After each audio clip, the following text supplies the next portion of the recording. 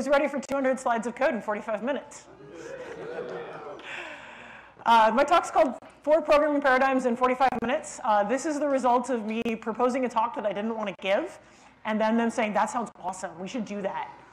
So I don't recommend that strategy. Uh, I'm Aja Hammerly. I'm on GitHub as Thagomizer. I tweet at the Thagomizer.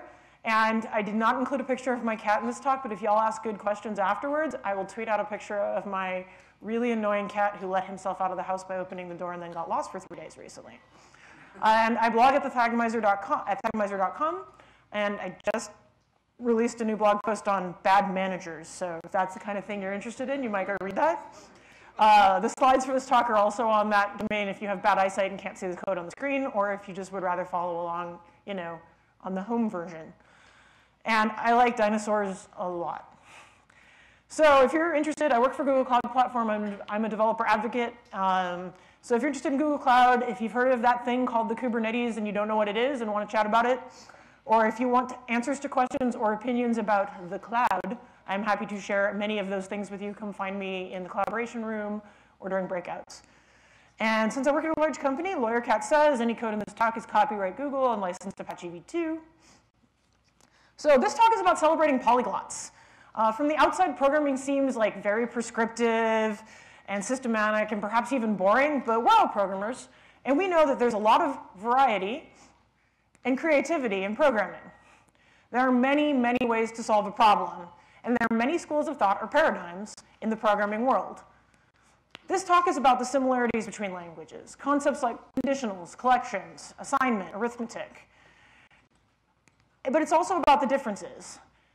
Different programming languages are good for different kinds of problems, and knowing a lot of different kinds of programming language can, make, can help you understand the abstractions that underlie everything we do in our day-to-day -day lives as programmers.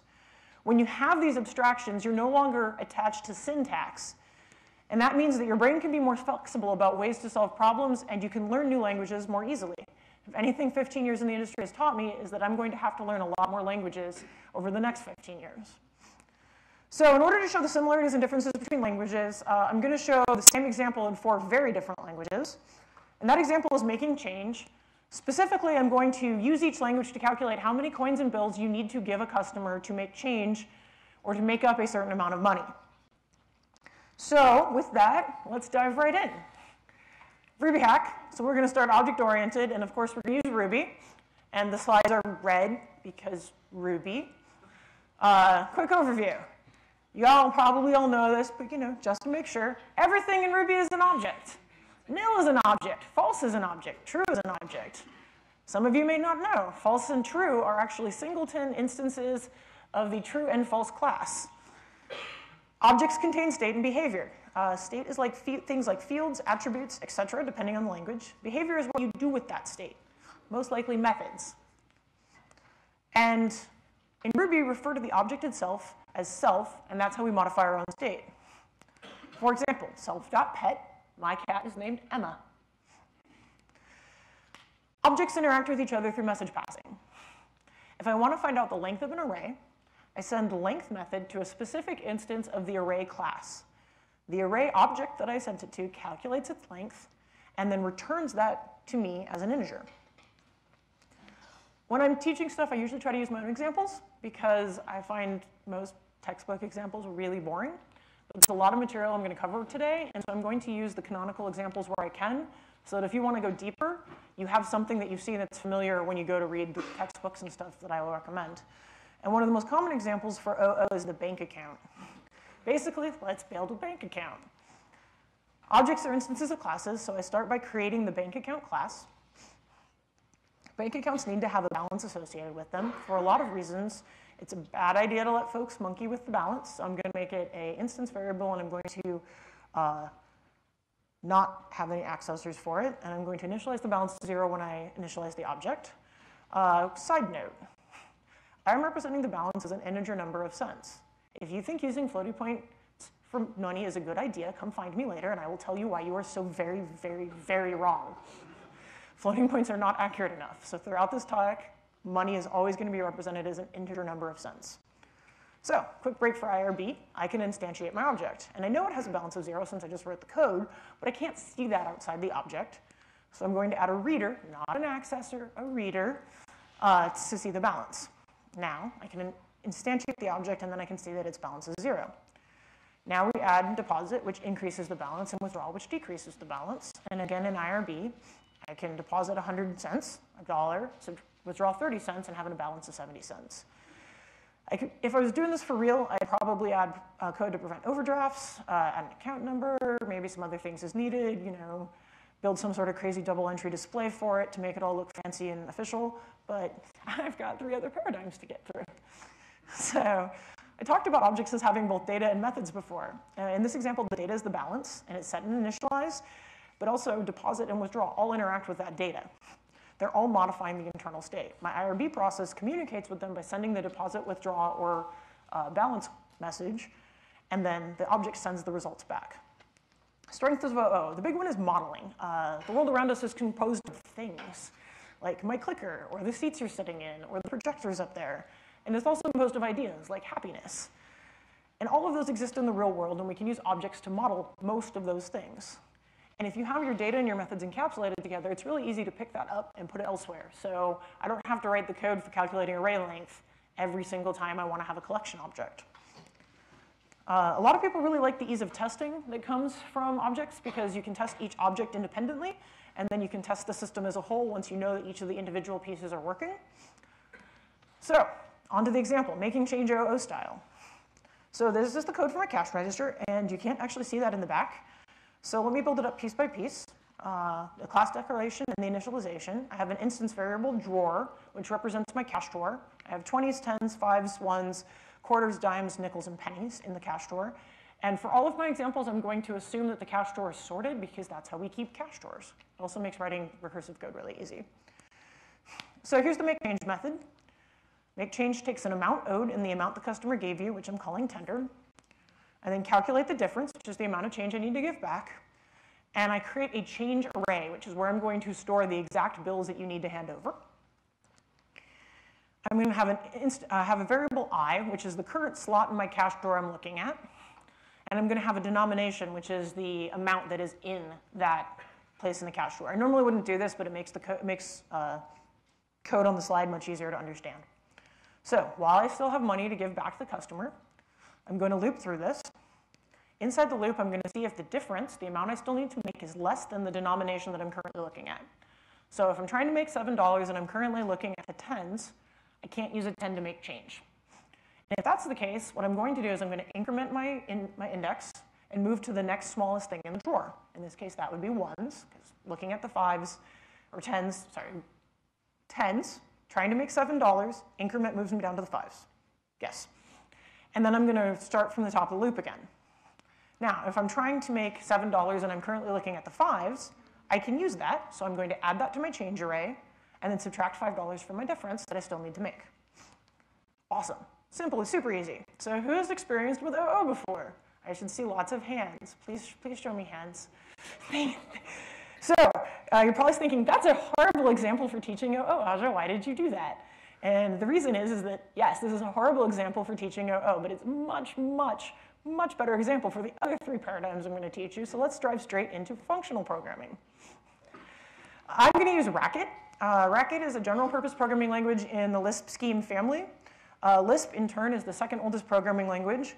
And Racket and Lisp are really well known, well, Lisp especially, but Racket increasingly is a really well known functional language and a great way to demonstrate it.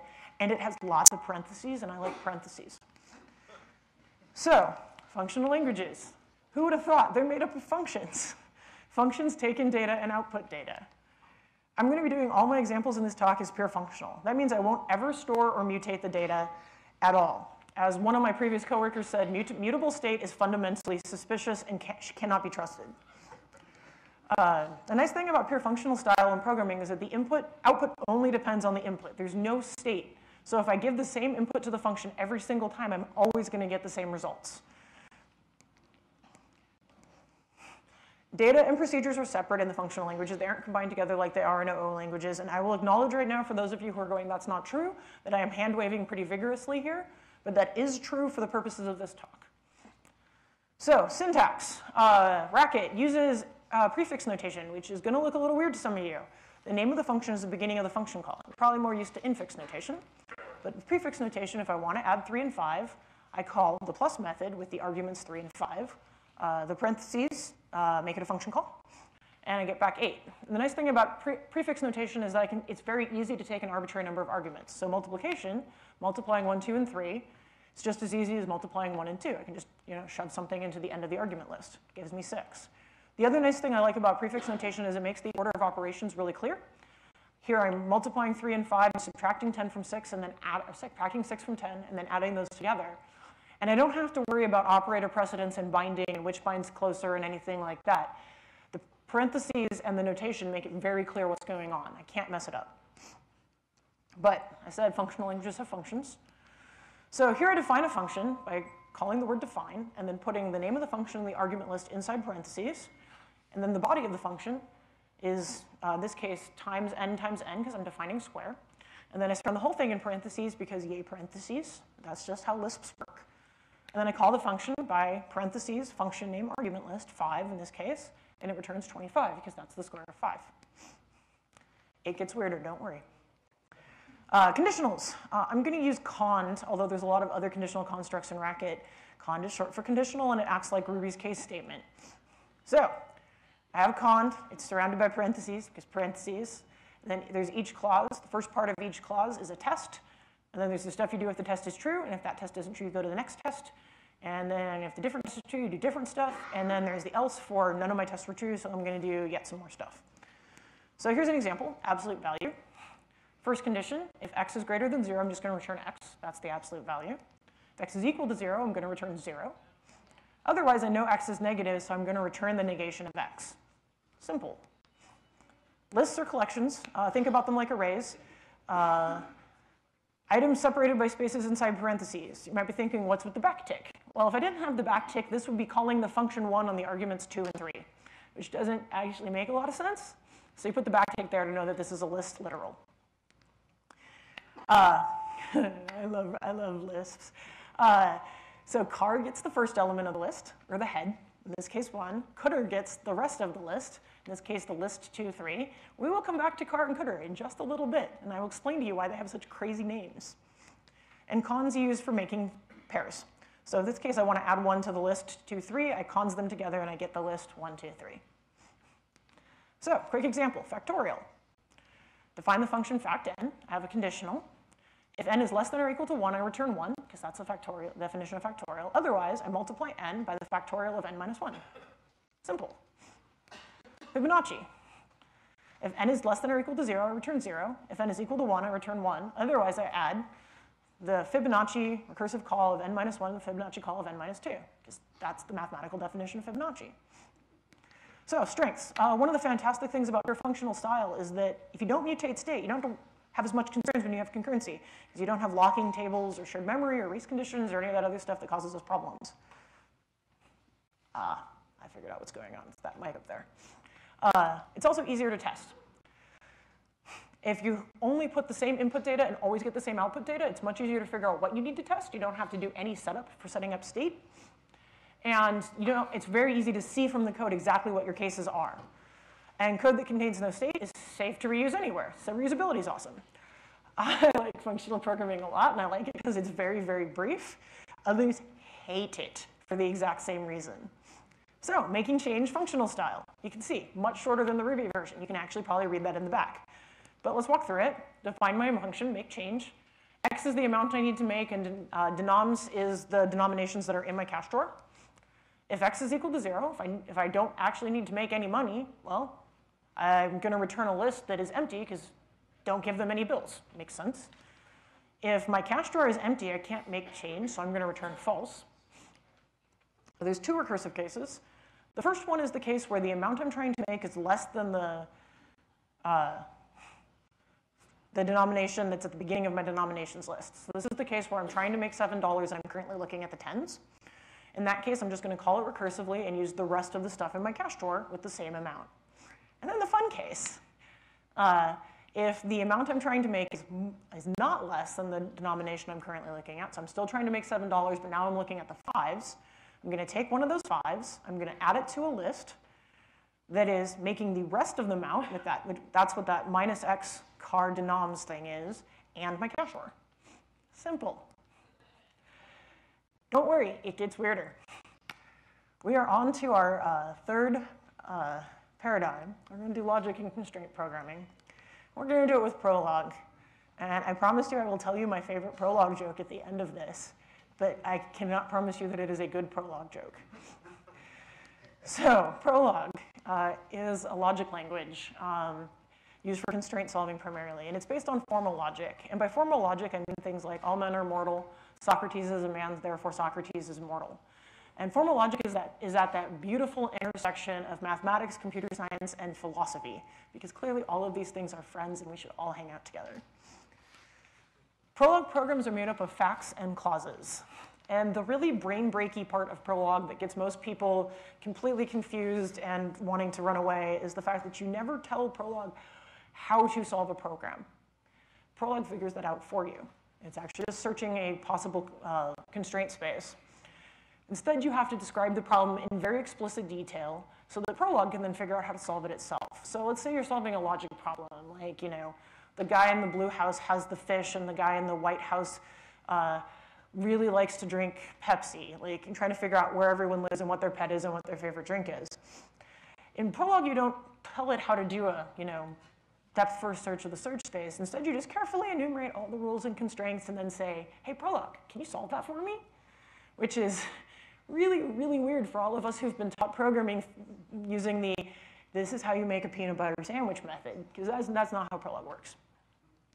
So the syntax is actually not too bad, but since we don't need a lot of operators, it's not actually that complicated, and it's a little weird. We have variables, which are in all caps, and we have constants, which are in lowercase, and that's pretty much it. I can define facts. Facts end in periods. So I can say that Washington is a state. I can say that Washington and Oregon share a border, and that Washington and Idaho share a border, and that Oregon and California share a border. And then I can say, hey, Prolog, let's make some rules. Rules uh, are a set of what look like facts, but basically what's saying is that x and y are adjacent, x and y are variables, remember capital letters.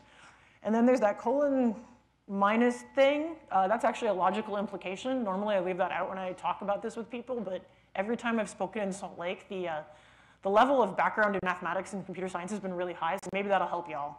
That's a logical implication. And what I'm saying here is that two states are adjacent if they share a border, and if the border rule is true. So adjacent is true if everything on the right-hand side is true. And what Prolog does is goes and does some crazy pattern matching. I love pattern matching languages. They make me so happy. Uh, and by pattern matching, what it's doing is it's actually doing a process called unification, but that is the only time I will say unification in this talk. If you want to hear more about unification, stay tuned to the end and I will give you resources where you can learn about that. So Prolog's going to go try to find some values for x and y such that the stuff on the right-hand side is true. So I'm going to say, hey, Prolog, are Washington and Oregon adjacent? Prolog's going to say yes, because that's what Prolog does. It says yes and no primarily. It's fantastic.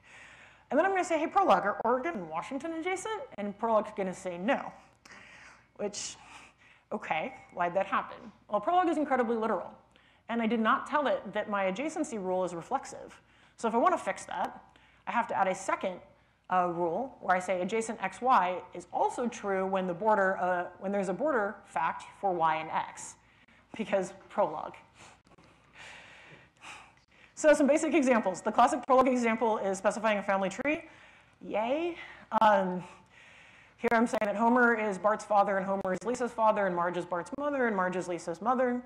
And then I can say, hey, Prolog, put the variable in, constant in Bart, who is Bart's mother, and it's going to say, hey, I was able to make that true by saying that x is equal to Marge. I can also say, hey, Prolog, who is, Barge, who is Marge the mother of? And it will say, well, Bart. And I can say, hey, you got any others? And that's what that semicolon means is yes and. And then it'll also say, hey, uh, Lisa also makes that rule true. Which means I can then define relationships like this. X and Y are siblings if there exists some Z such that Z is the mother of X and Z is the mother of Y. And then that crazy slash equals equals syntax is actually uh, not equal because you're not really your own sibling. That would be weird. So uh, x and y are siblings if there is some z where x is the mother of z and y, z, so z is the mother of x and z is the mother of y and x and y are not the same. x is also a y sibling if there is some z such that z is the father of x, z is the father of y, and x and y are not the same. So then I can say, hey, from our list of rules, hey, Prolog, who are siblings? And it will say bar and Lisa. Lists. Prolog has lists. Most languages have collections. Uh, it's some stuff in square brackets with uh, commas, and they can be mixed type. Looks like Ruby. Yay. Uh, but dealing with lists in a pattern matching language gets a little complicated, and Prolog uses this lovely Bart syntax that I adore but confuses people. So this is uh, pronounced F bar R, and F matches the first element of the list, and R matches the rest. This is just like car and cdr that I showed you in, in uh, functional programming. So if I have the list 1, 2, 3, uh, if I pattern match that against F bar R, F is going to be equal to 1 and R is going to be equal to 2, 3. But they're not actually equal, they just match because equality is not really a thing in Prolog. And the last thing I need to show you is that Ruby, just like Ruby and Racket, uh, underscore is the I'm not using it variable, which I was informed is also pronounced meh. So uh, in Prolog text you, all, text, you also see this as referred to as the don't care variable. This is the uh, unused argument variable. So member, member is like include and if you want to use the pronunciation of uh, include for that I learned from my Canadian friends, it's include A from Ruby. So this is member. There's only actually two rules. Uh, the first is actually a fact. X is a member of something if X is the beginning of a list. Sure, why not? Uh, X is also a member of something if there's something I don't care about at the beginning of the list and X is a member of the rest of the list. Okay, sure.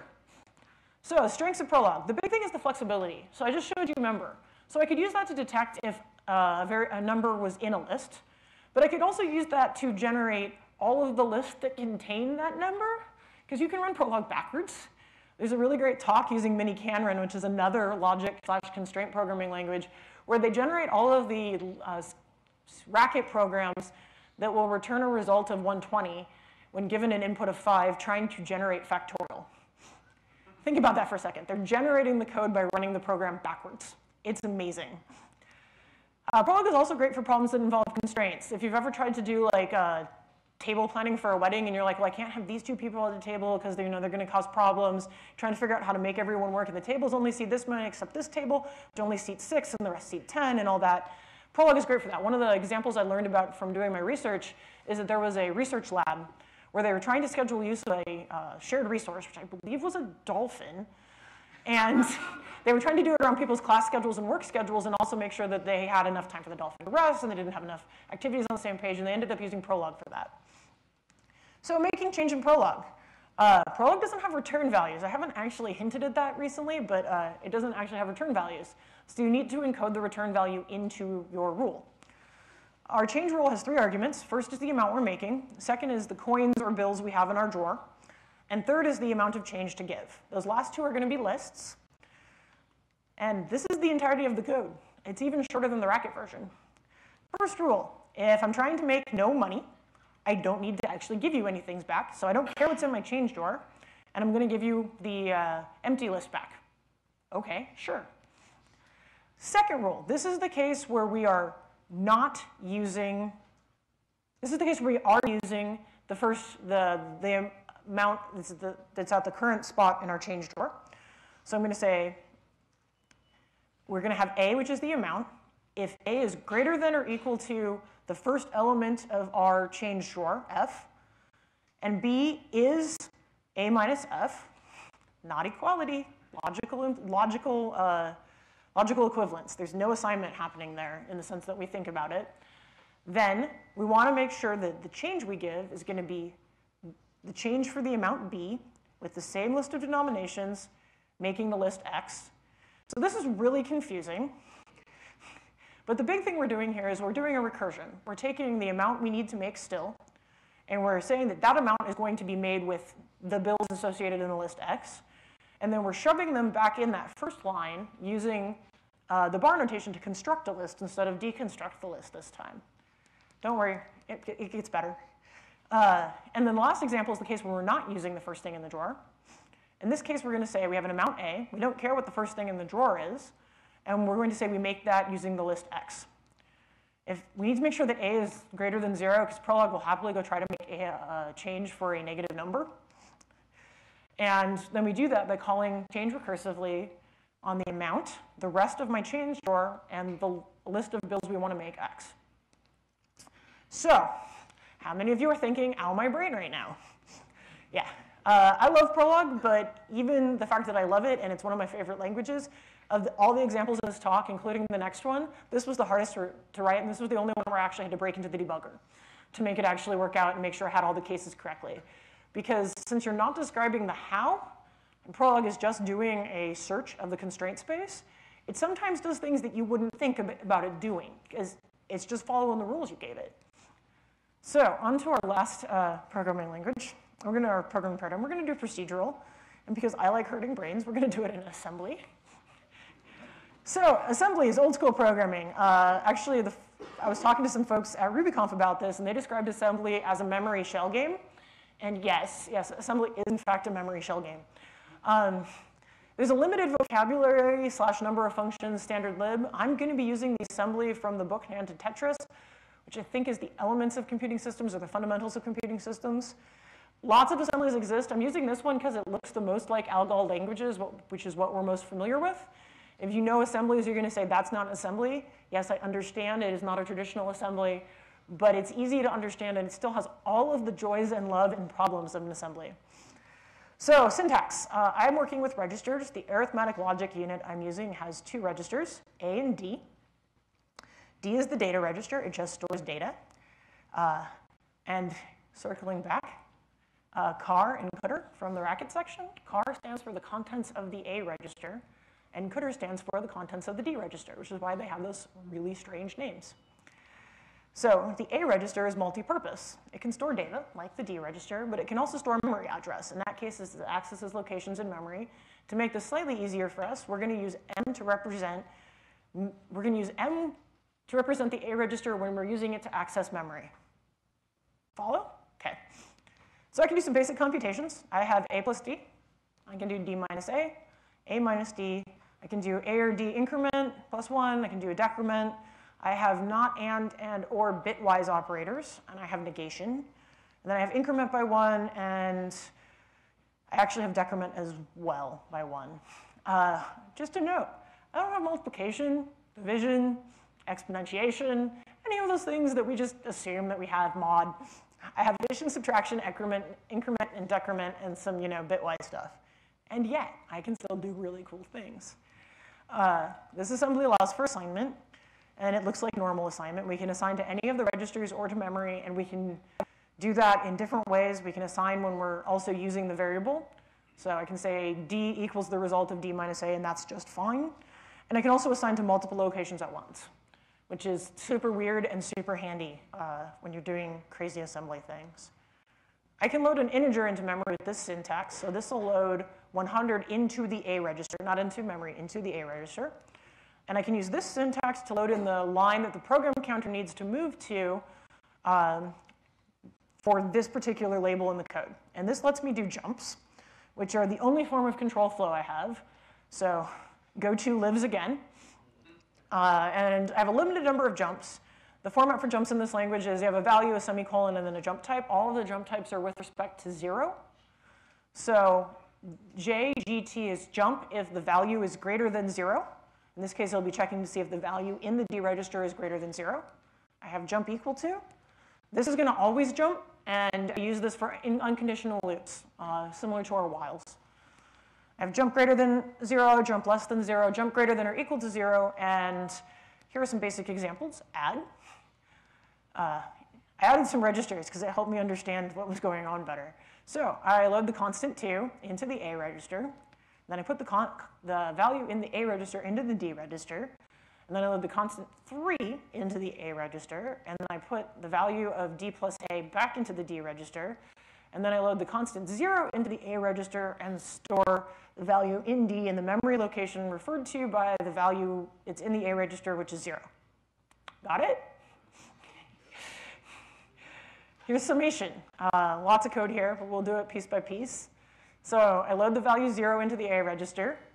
I store the value that's in the A register into the memory location that I'm referring to with the address in the A register, which ends up storing a 0 into memory location 0. Because, you know, let's do two things at once with the value. I then load the constant 5 into the A register, assign that to the D register, and then load the constant 1 into the A register, and then assign the value that's in memory loc uh, that's in D to the memory location referred to by the address in the A register. What I'm going to be doing in this example is summing up the numbers 1 through, 1 through 5. I declare a loop. This is a label that I will come back to. I load uh, the value 1 into the A register, assign the value that's in memory location 1 to the D register, load the constant 0 into the A register, and assign the value of memory plus D into memory location 0. So we now end up with 0 in the A register and 5s everywhere else. Then I load a constant 1 into the A register, and I decrement the value that's in memory location 1. So now D and M are both equal to 4. And then I have a label end, and I'm going to jump if the value in my D register is less than or equal to 0. Otherwise, I'm going to load up the, I'm going to jump to the end. Otherwise, I'm going to load up my loop label from earlier, and I'm going to jump unconditionally back to the top. So now I'm back at the top where my loop label is. I'm going to load the value 1 into the A register. I'm going to copy the value in memory 1 into D, so now D has 4. I'm going to load the constant 0 into the A register, and then I'm going to increase the value that is in memory location 0 by the amount in D, which is going to make it 9. And then I do the decrement again, and then I loop back to the top, and I add 3, and so and so and so, and then eventually I will get the sum of 5 to 1. Awesome. So, strengths. Um, yeah. Uh, I don't have any problems that assembly currently solves for me. I've written the assembler for this particular assembly, and then wrote the bytecode that creates the assembly that the assembler reads, and then I wrote the high-level language that creates the bytecode that creates the assembly that the assembler reads and turns into machine instructions. But I did that because I wanted to know how my wizard box worked. Um, procedural style, though, can be really useful. Uh, it's simple. Uh, for us, most of our first programs were uh, procedural. Hello World is very procedural. Most scripting is procedural. Do a thing, then do this other thing, and then do this final thing, and then clean up after yourself. And procedural style is really easy to write. We think about the world in sets of instructions. It's very easy for us to explain things as a list of things to do in a specific order. So um, here's making change in a, uh, assembly. I am doing this the stupid way. Uh, there are better ways to do this. We can talk about that after my talk if you're interested. Uh, and this makes the change, calculates the number of coins you need to give out and what coins you need to give out to make change for 67 cents. So the first memory location holds the amount to make. Memories 1 through 4 hold my coin denominations. Memory 1 is 25 for quarters, memory 2 is 10 for dimes, memory 3 is 5 for nickels, and memory 4 is 1 for pennies. Uh, memories 5 through 8 hold the number of each coin to use. Memory 5 is the number of quarters, and so on. My assembly doesn't actually let me refer to memories by number that way, but it does let me refer to them as registered, so uh, that's what you'll actually see in the code. So this bit here loads a constant 67, the amount we want to make, into A, then moves that to D, then loads the address of uh, register 0 and puts the amount in D into that location. So now we've got the amount we want to make in memory location 0. This loads in the values, 25, 10, 5, and 1, into the appropriate memory locations. And this is the, uh, the actual code. Um, and I'm not going to do the magical you know, table of registers here, but I'll walk you through it. So I load the location of my first memory location. I then assign to D whatever value is there. That's the amount I still need to make. I then load up the value of memory location uh, 1. And I subtract the value of memory location 1 from the amount I need to make and store that back into register D, or into register D. And now I load up the label for my dimes code, which is the next thing I'm going to go to. So if D is less than 0, which means that the amount I was trying to make was less than the value of one quarter, well, I don't need any quarters, so I'm just going to jump to dimes and start trying to figure out how many dimes I need. But if it's greater than 0, I'm going to load up my memory location 0, store the amount I have left after I subtract out one quarter's worth into that location, and then I'm going to store up the location of where I'm keeping track of how many quarters I need. I'm going to increment that by one. Then I'm going to load up the address for my quarters loop and go back to the top and see if I can put any more quarters in. Awesome, huh? And then I do the same thing for dimes, nickels, and pennies, and eventually you end up getting the right answer. So learn more. Uh, I covered a lot of material in this talk, and I didn't go into any depth on any of it. I really encourage you, if you're interested by any of this, to go out, learn more, and seek more. If you want more resources on functional stuff, There's a talk, uh, parenthetically speaking, by Jim Weirich from Golden Gate Ruby Conference in 2010. It's on Confreaks, and it is really, really good. It got me to actually go back and work through the entirety of the structure and interpretation of computer programs with a bunch of friends. There's also Functional Principles for O Development by Jessica Kerr from Ruby Midwest in 2013. And Y Not? The Adventures in Functional Programming, which was a keynote given by Jim at RubyConf 2012 in Denver. And I like functional programming, and I followed up until about the halfway point. Uh, and then I got lost. So I've gone back and watched the video a couple times, because when you watch the video, you can stop and think, and like, okay, what is Jim showing me there? But he eventually builds up the Y Combinator in Ruby, and it's awesome. If you're more of a books person, uh, the Little Schemer, the Reasoned Schemer, and the Seasoned Schemer are fantastic. They're some of my favorite computer books because they're written in Socratic dialogue, because why not? Uh, they also use food as all the examples, and they're pretty easy to work through. I've given them to newbies to code, and they've gotten through just fine.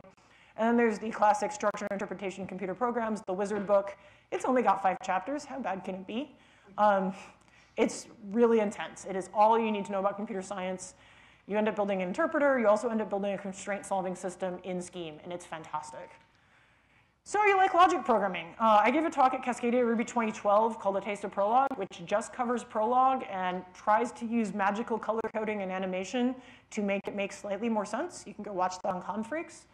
My favorite Prolog books, uh, there's The Art of Prolog, and there's Prolog Programming for Artificial Intelligence, but the one I like the best is Clause and Effect, Prolog Programming for the Working Programmer. We are working programmers. This is our book. Uh, the reason I like this is it has exercises, because it's really easy when you're reading a nerd book to like, oh yeah, it totally makes sense, uh-huh, uh-huh. And then you realize that you haven't actually retained the stuff in a way that you can use it. So having exercises means you have to sit and try to work through stuff and then look and see if you got it right. Uh, procedural code. Uh, the book I mentioned that that assembly came from is The Elements of Computing Systems, Building a Modern Computer from First Principles. Oh my gosh, I love this book. You start by, uh, you start with the NAND gate. You build up all the logic gates, and then you build up memory, and then you build up an ALU, and then you build up an assembly and a machine code that works with that ALU, and then you build the assembler, and then you build a byte code that generates that assembly, that generates the machine code that uses the ALU that you built out of the NAND gates and the other logic gates that you build up. And eventually you end up writing a language called Jack, which kind of looks like a really stripped down version of Java. And then you can write Tetris and run it on your simulated circuits that you made. It's awesome. It's really, really well done. There's actually a Coursera course for it. I worked through it before there was a Coursera course. But if you don't know how your wizard box works, I highly recommend it. I managed to get through my CS degree only vaguely understanding architectures and operating systems. And this, this really helped a lot. And it also helped with PLs, programming languages. Uh, so I did a bunch of programming languages. Y'all can probably, oh yeah, seven languages, seven weeks. Yeah, it's a book. Uh, there's good things, bad things about it. I'm not 100% fond of how they did Prolog, and I don't think it focuses as much on uh, the similarities because you don't, not implementing the same thing in all the languages makes it very hard for you to see what languages are good and not good at. Uh, someone else turned me on to the exercising, exercises in programming style, which is like 50 styles slash paradigms, all implemented in Python, all solving the same problem. And it's awesome. So I highly recommend you try that. I'm still working through it in Ruby. Because Python's fine, but I like Ruby. So I'm supposed to do a thoughtful closing right now. Um, yeah. Hi. Polyglots are awesome. Uh, the big thing I want folks to take away from this talk is that knowing lots of languages, having these concepts abstracted in your head is good. And if you are helping folks become better programmers, or if you're trying to become a better programmer yourself, get out of your comfort zone. Don't just use high-level object-oriented languages all the time. Having an appreciation for the other ways of solving problems can help you pick the right tool for the job. I will point out that the making change solution in Prolog was actually the shortest solution there. If I was going to solve something logic-based, I would definitely use Prolog. If I was going to solve something where recursion seemed like the right solution, I'd probably actually fall back to Racket. I wouldn't go to Ruby. Eventually, I might do some IoT stuff where I want to use assembly, but I use procedural style all the time. So knowing your tools well and knowing what tools are good for particular jobs will make you a better programmer. It will make your code better, faster, and easier to maintain. And also, get out of your comfort zone. Don't just let yourself become stale. There's going to be new languages all the time. Uh, my current language of the year that I'm going to try to learn is Elixir, because someone told me it's both functional and pattern matching, and I was like, I'm there. uh, I don't know what I'm going to use it for yet, but it seems super cool. So it might be the next big thing. I know a bunch of folks who got really interested in Go a couple years ago, and now, now Go is the thing. I don't have problems Go solves, but a lot of people seem to. So uh, use, learn new languages, get better at stuff. I have stickers of many, many dinosaurs in my little pouch over there. I want to say thank you, and I think I have time for one question. Questions?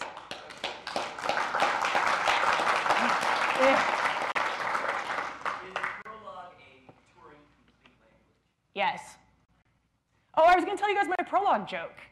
How many Prolog, how long, how many Prolog programmers does it take to change a light bulb? No. you can also do yes, but I like the no version better. One more question? You have one right there? That was my question. Yeah. Prolog's actually a full language. Um, it's surprising how little you need to be Turing complete. Uh, someone has proved that you can build stuff in Minecraft that's Turing complete. so Turing completeness is interesting, but not, not sufficient to be usable in my experience. Well, thank you all. Uh, I'm very, very glad to have spoken here.